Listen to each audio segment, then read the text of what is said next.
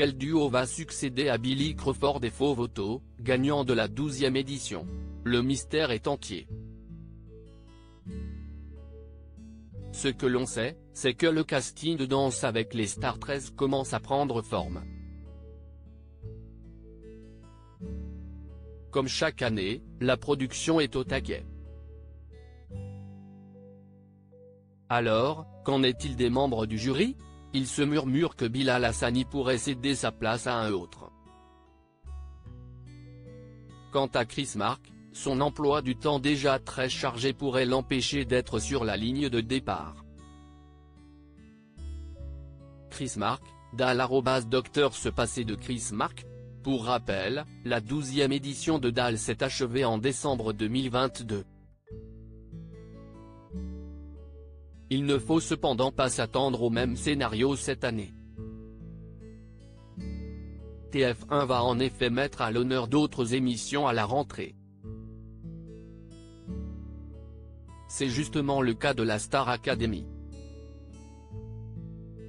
Selon les informations relayées, les nouvelles recrues vont passer Noël au château de Damary-Lélis. Par ailleurs, la première chaîne se prépare à diffuser un événement sportif, la Coupe du Monde de rugby. Les fans de la célèbre émission de danse devront donc s'armer de beaucoup de patience.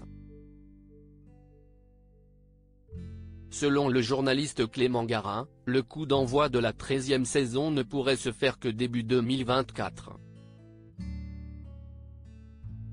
De plus, l'agenda de l'ami de la défunte chorégraphe Kerry Anne Donaldson pourrait poser problème. Les impératifs de Chris Mark et plusieurs danseurs rebattent les cartes, parmi les dates retenues figure de vendredi. Branle-bas de combat pour TF1, faut-il repousser encore le lancement de Dahl ou se passer de Chris Mark sur un ou deux primes? Un possible retour d'un juré emblématique de Dahl en janvier et février 2024, Chris Mark sera donc en tournée avec sa troupe. Les téléspectateurs de TF1 et fans de Dahl pourraient cependant assister au grand retour d'un célèbre juge. Il s'agit de Jean-Marc Généreux qui n'exclut pas la possibilité de rejoindre, une nouvelle fois, les membres du jury du programme. Dans les colonnes du magazine Gala, le chorégraphe franco-canadien s'est en effet confié à ce sujet. Reste à savoir si la production serait partant pour son comeback. Affaire à suivre.